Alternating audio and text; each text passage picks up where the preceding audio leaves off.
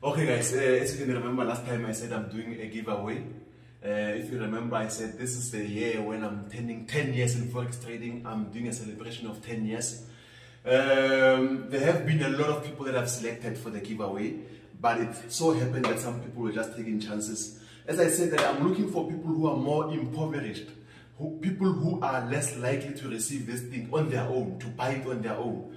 So the most of the people that I was meeting were people who are working, people not, not really, I was not really looking for someone who's poor. I was looking for someone that I know that in on his own way, you cannot buy this thing, at least this year. So the people that I found, I saw that no, uh, these are people who are generally fine. So they're not really, uh, they're underprivileged. So I didn't select them. Instead, there's one guy that I'm going to meet personally. Everyone else, I will send it via post. But the one guy, I have to go and see him myself. There's a guy that has been sending so many, many, many inspirational messages, motivational messages, so many good things.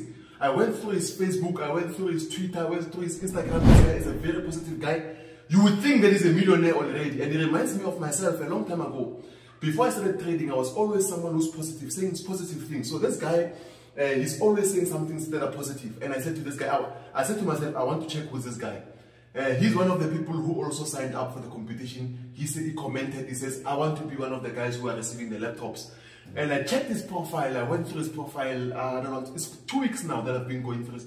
That guy you would think is a millionaire. He's inspiring people. Make it big, guys. Don't, don't forget. I'm like, no. This guy is someone. And when I check his profile, he's someone who's not, he's an underprivileged guy.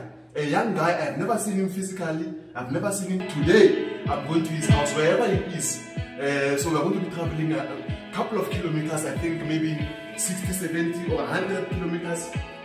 I'm going to give him the laptop myself. This one he needs me to give him on my own. So watch the space. Let's go and see this guy called Tumelo. Power.